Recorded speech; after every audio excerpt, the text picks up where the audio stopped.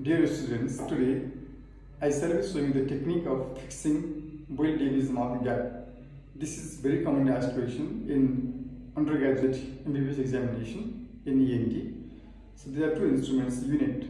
One is Boyle mouth blade and is Davis mouth gag. Davis mouth is always held on the left side or by the left hand. You can see here I am holding it on the left hand with the slot upwards. This is a slot for the tongue depressor to be fixed.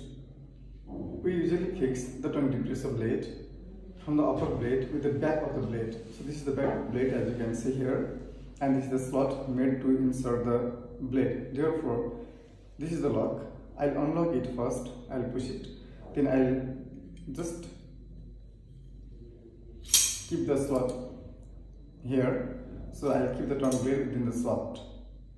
Then I'll fix according to my desire how much to fix. And this is a lock system as you can see this is a lock system. So we can simply keep the lock in these different gears. Now it is fixed. And you can keep the tongue depressor here and open the mouth as required. This is adult Boyle Davis mouth gag.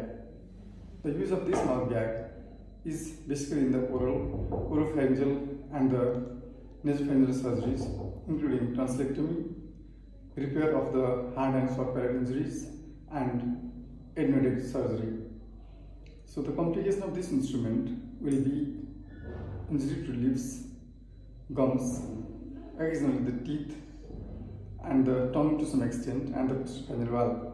But most important complication of this instrument is temporomandibular joint dislocation which occurs when the retraction is much. So if the mouth gag is full opened, this might cause injury to the temporomandibular joint. Therefore, you should not completely open the uh, Boyle-Davis mouth gag. So you have to just open as required because our, in our surgical field, the oropharynx is to be seen and the tonsils are to be seen.